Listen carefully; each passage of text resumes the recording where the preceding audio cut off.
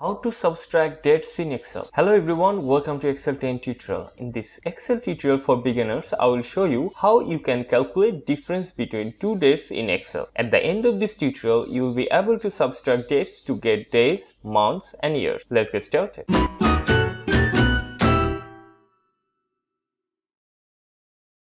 Here we have two dates, start date and end date. We are about to get the number of days months and years between these two dates. I'll be using dateDif function in this tutorial and let's find out the year first. In cell C2, I will write the function equal to dateDif.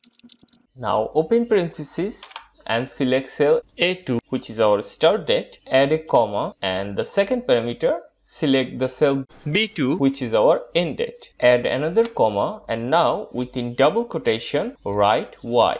This will subtract years. Now close parenthesis and press enter. Done. Here is the difference between these two dates in years. Now let's move on to the next one which is months. Again write the dateDif function equal to dateDif open parenthesis select the start date comma select the end date comma and within double quotation write m. Close the parenthesis and press enter. You just use the dateDif function to calculate the date difference in months. Now let's subtract two dates in excel to get the number of days. Same way equal to dateDif open parenthesis start date comma, end date, comma, within double quotation, guess what? D.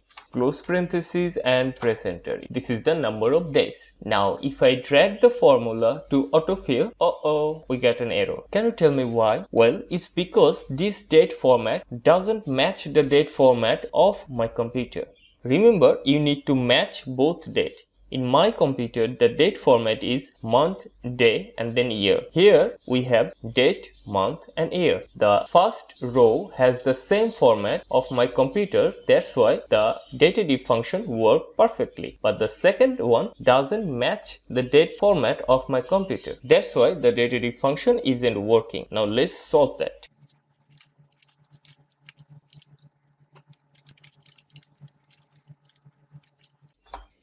See, our function is now working. So this is how you subtract dates in Excel. Now drag this working perfectly. If this video was helpful, give it a like. If this is your first time on Excel 10 tutorial, please subscribe. Thank you. Thanks for watching. See you in the next tutorial.